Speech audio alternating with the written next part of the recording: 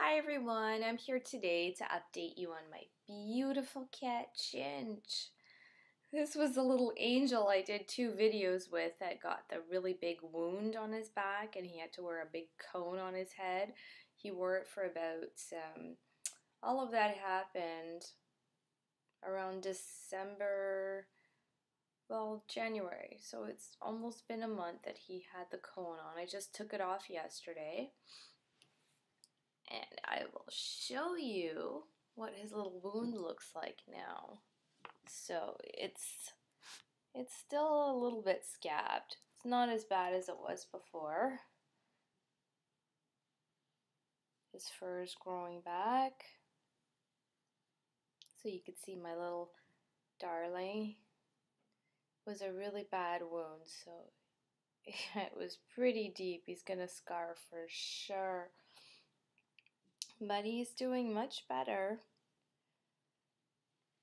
And he's been so good patiently wearing that awful cone. So he's happy and healthy and he's doing well. I'm not letting him outside though because I don't want him to get hurt again. He has to be fully healed before he goes out. But he's just my little angel. He's gorgeous. Look at him. He looks like a tiger. I love you. Yeah, you're so cute. Look at you, my big, big teddy bear. Oh, he's such a good cat. I'm happy he's healing now. Yeah, you're just an angel. Look at how gorgeous you are. Look at you. Hey, look at those big blue eyes. Mm, Mummy's little darling. Yeah, you're just a handsome, handsome boy. So he's doing so much better. Yes, he is. Mm. I just love my little Chinch. He's such a good cat. Yeah.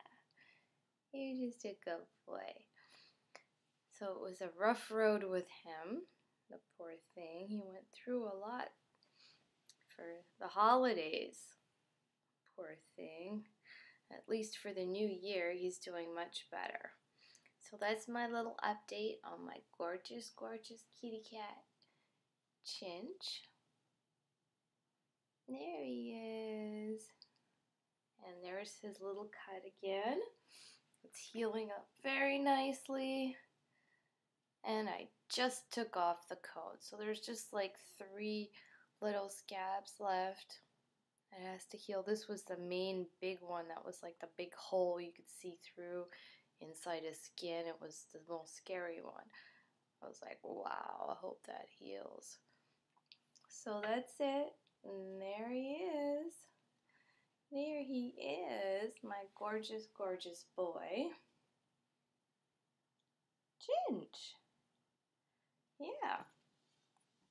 So, and there's his girlfriend. Baby girl, my Bengal cat.